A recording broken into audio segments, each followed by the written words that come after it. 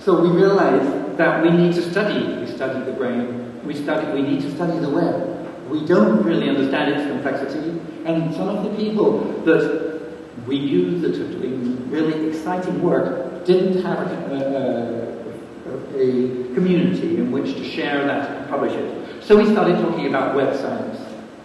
And three years ago, we, we started what started as a web science research initiative and has now recently become the web science trust in order to get people, academics, to think about it.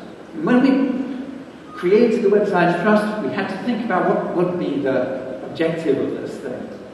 Well, we thought, okay, well, web science surely should be that the web should serve humanity to its utmost. Well, that actually made us stop and think. Because we realized that to get the web to serve humanity to its utmost, you need more than science.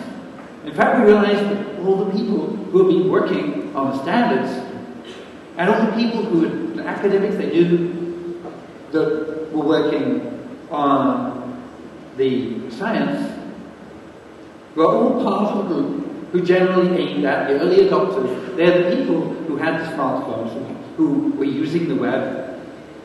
And but when you talk about that the web should serve humanity, you immediately have to think about the other 80% of the world at the time who were not using the web at all. And so we thought more broadly. We realized that not only did we need the standards, not only do we need the science, but we also need to think of society in general. We need to think about society, the people who are less privileged, the people who they may be poor, they may be in disconnected rural areas, or they may be poor in urban areas.